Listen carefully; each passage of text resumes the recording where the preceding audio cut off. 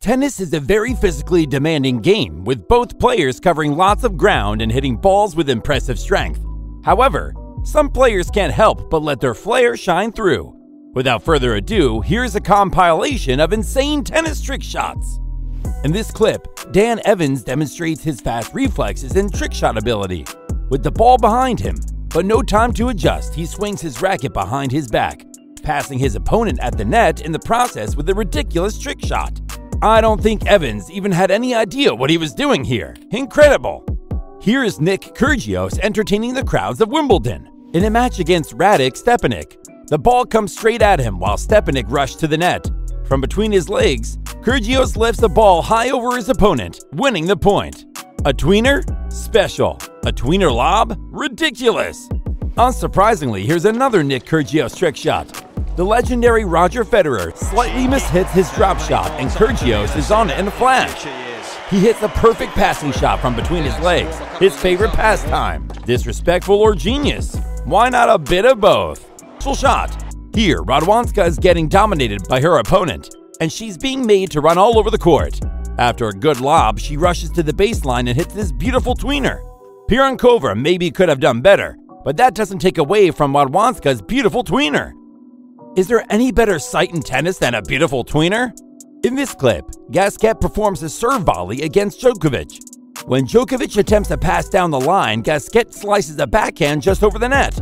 Novak gets there as fast as he can, but all he can do is watch as the ball falls back on Gasquet's side of the net.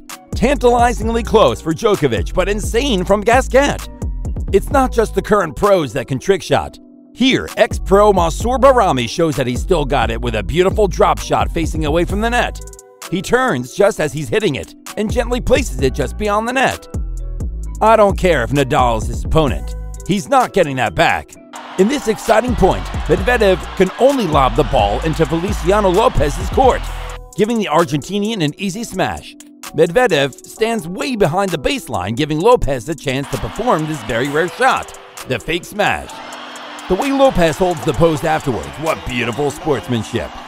Gael Monfils, a born entertainer on the tennis court, shows his incredible physical ability here. As Verdasco smashes the ball into the opposite corner of the court, Monfils sprints, leaps, and somehow manages to hit this shot. Monfils truly is one of a kind player. Raw athleticism. A drop shot, a counter drop shot, a tweener, and a fake smash. This point really has it all. Djokovic and Del Potro face off in this clip, having an incredibly exciting point that sends both players running all over the court, ending with Djokovic on top. Beautiful stuff from both players. What a point! Benoit Paire is no stranger to trick shots and could have made this video 10 different times. Here he faces his French compatriot Gasquet. At the end of the long point, he has a very easy smash. Rather than just putting it away, he fakes and then does a gorgeous drop shot. He really didn't need to make that drop shot, as incredible as it was. Another player who just can't help themselves, Dustin Brown might just be the most unconventional player of all time. Here he manages to gently place the ball away from his opponent with a dainty cross-court backhand, facing away from the net. What poise, what grace, what elegance!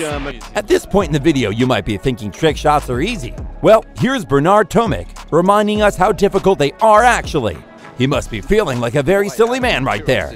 In this 2002 match against Andy Roddick, Federer pulls out one of the craziest tennis shots you will ever see.